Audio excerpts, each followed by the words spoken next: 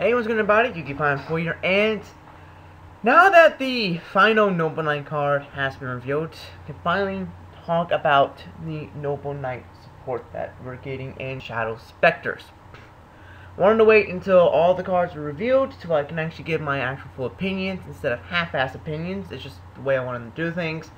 If they didn't reveal that the, the exact number of Noble Knights, I would have done these as they came out, but since they decided to announce the, all five, and there took me a total of five new ones, I just had rather wait. But now they're finally here, and also the OCG imports and the final exclusive for TCG has been revealed. I'll talk about those in another video, either tomorrow or Wednesday, depending on which day I feel like it. Might do some other stuff. But anyway, the five Noble Knights supporter cards. Let's go over them real quick. So we have Lady of the Lake. I'm loving the. I just love the references here. It's an Aqua Tuner, 200 attack, 1800 defense. Cannot be used as a synchro material monster except for the synchro summon of a warrior type monster. If this card is used for a synchro summon, banish it. When this card is normal summoned, you can target one Noble Knight normal monster in your graveyard. Special summon that target. If this card is in your graveyard, you can target one level 5 Noble Knight monster you control reduce its level by 1, and if you do, special summon this card from your graveyard. So overall, it's a decent tuner. Kind of sucks that you can only go for warrior monsters, but there are of course some monsters such as, you know, their new Noble Knight Synchro, or you can go for Excalibur Wayne, you can go for um, Mighty Warrior. I'm just giving out examples, you know. I'm not saying you should play Mighty Warrior or anything like that. It's just an example of a level 5 warrior synchro, this generic. Overall, it's a pretty decent card. I like the fact that it is a Blizzard effect in a sense, like especially on things like Ultragus. It's sad that the Noble Knights aren't don't count normal monsters in the graveyard, but only on the field. So, so they're like a semi-Gemini in a sense. So really, her only target for normal summon effect is going to be uh. So it kind of makes him still a uh, playable card if you want to use that effect of hers. Uh, she's also, of course, a great card in the graveyard to because you are be playing level 5 um, Noble Knight or Ignoble Knights, such as Laundsallyn and, of course, their other level 5 new level 5 Synchro. Overall, she's a pretty decent card, but I do like the Trolls factor that Konami put on her, the fact that she's an Aqua and not a Warrior, so you can't search her by Rhoda. Good job, Konami. You just trolled every Noble Knight player out there you're awesome. It's I think it's hilarious. But I love the artwork. It looks pretty cool. I uh, just I just like I just love the references to freaking Arthur, and this is really really nice. So she's gonna be secret rare if you didn't know that already. And I hate the change of season. My allergies fill her up every time. But anyway, she's a pretty decent card. Next up, we have Noble Knight Borz. If this wants to scroll down, thank you. The level 4 warrior, of course, 1700 attack, 900 defense. This card is treated as a normal monster while face up on the field. While equipped with the Noble Arms equipped spell guard, this card becomes an effect monster with these effects. This card becomes dark and its level is increased by 1. During your main phase, you can reveal 3 Noble Arms cards from your deck. Have your opponent ra randomly add one of them to your hand and send the rest to the graveyard. You can only use this effect once per turn. So it's pretty much set up for things like your exceeds, your both your Ultragus exceeds to kind of get their effects rolling. It's pretty nice. It's, you know, it's sort of like your, like the Power Soul Dragon, but except Power Soul puts things back, and, and why is this ad playing? Don't play, ad, don't play. Anyway, perfect place to pause. But, it's a pretty cool card. I like it. Um, it deck things your deck by a total of three cards, which is always nice. And again, it sets up for your Exceed plays. So, it does have its um, good possibilities. And of course, it increases level by one, just like things like Medraut, so it opens up rank 5 Exceed plays and becomes a Dark. So, hey, why not? Next up, we have Ignoble Knight of High Laundsallyn. Guy looks freaking badass as hell. Freaking evil. Level 5 2 level 5 2 level 5 synchro 2100 attack, 900 defense where it's one tuner plus one or more non-tuner Noble Knight monsters. When this card is synchro summoned, you can equip one Noble Arms equipped spell card from your deck to this card. At the end of the battle phase, if this card destroyed a monster by battle and sent to the graveyard, You can add one Noble Knight or Noble Arms card from your deck to your hand. You can only control one Ignoble Knight of High Laundsallyn on the field at one point in time. So, pretty cool card. It makes Lady Lake even more viable. The fact that you can get a free equip from the deck makes it pretty cool. So you can get a lot, a lot of nice equips, such as your Gallatin to boost them by a thousand.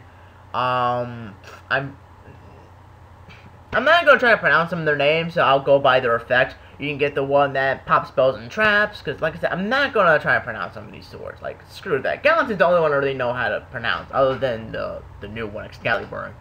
Uh, you can get the one that protects you from, this is like once per turn, you can't be destroyed by card effects or by battle, which is also a good one.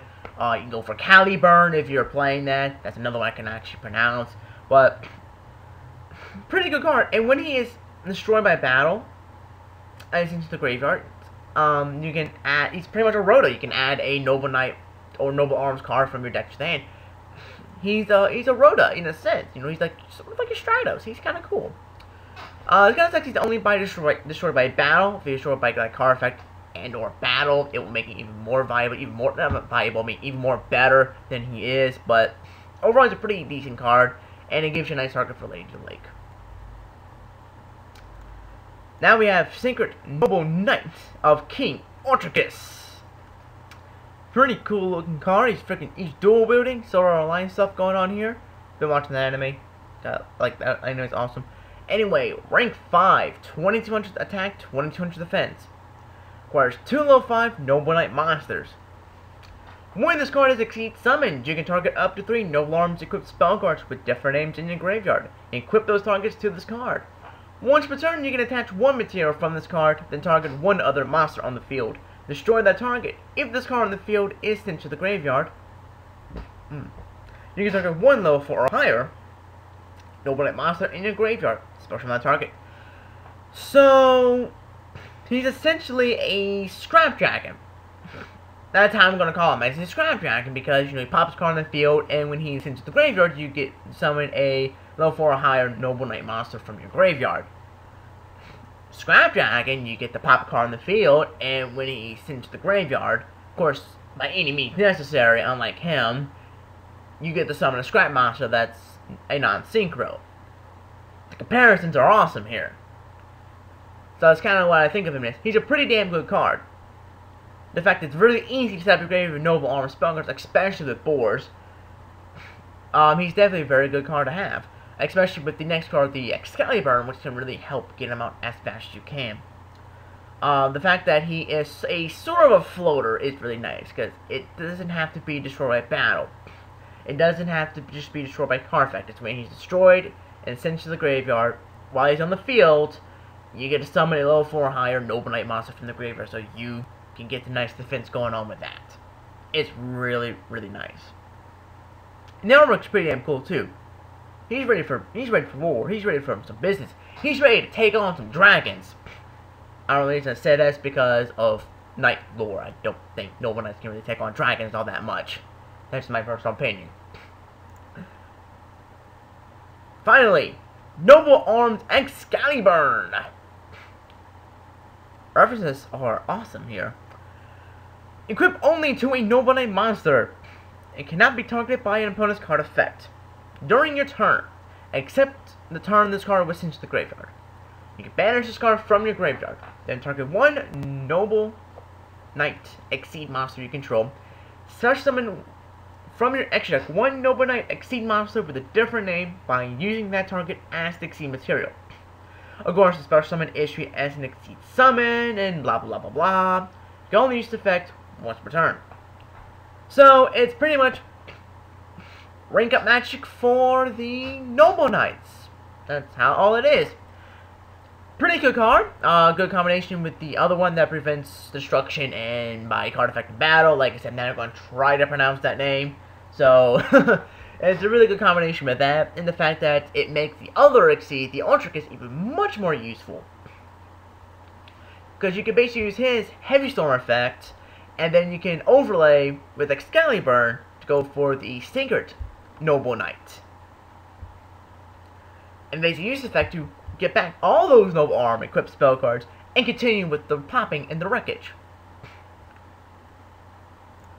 Overall, this is a fantastic spell card. I could definitely see this thing going to being played at least two to three because it's a really fantastic card.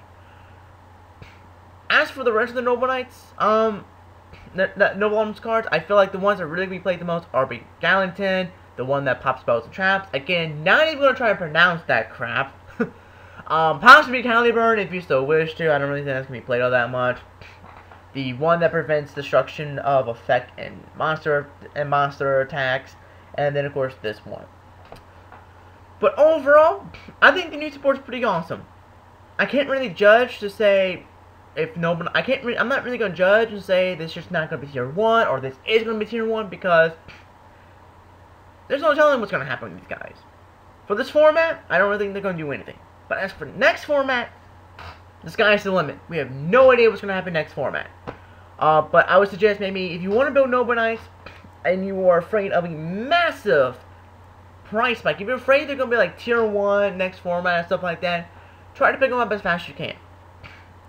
Because, like I said, there's no telling what's going to happen next format. I don't really think they're going to do anything this format because, you know, we still have two more months left. We still have November and December um, of this format. So, there's no telling what's going to happen next format. So, anyway, I do think this is pretty good support for Noble Knights. And I do hope they continue to get more support. Because I really like the archetype, mainly because of the, all the references to King Arthur and the Round Table and stuff like that. The Lady of the Lake, Excalibur, and Excalibur. It's really, really cool. And I'm glad that Konami's actually doing this, uh, doing, you know, turned the Legend of King Arthur into trading cards. I think it's really, really cool. And I hope they do more sort of lures like that and turn them into, uh, into like, uh, trading cards part of the card game because I think that would be really, really cool. But anyway, what are your thoughts on the Noble Knights stuff in the comments section below? I want to know what you guys think of the Noble Knight support. And, you know, do you think they'll get any more support in Legacy or not? Do you think they're done with them? And so, yeah. Are you going to be picking these guys up? Are you going to be playing Noble Knights? Because I know Noble Knights are pretty expensive. Because I know Medraut's going like 45 to 50 bucks a piece. Yeah, he's nuts expensive right now. He's probably going to go up in price. But are you going to try to build the overnight? Are you going to just say pass, skip them, or collect them every once in a while? You know, what are your thoughts on all this? So anyway, comment, rate, subscribe, and bye.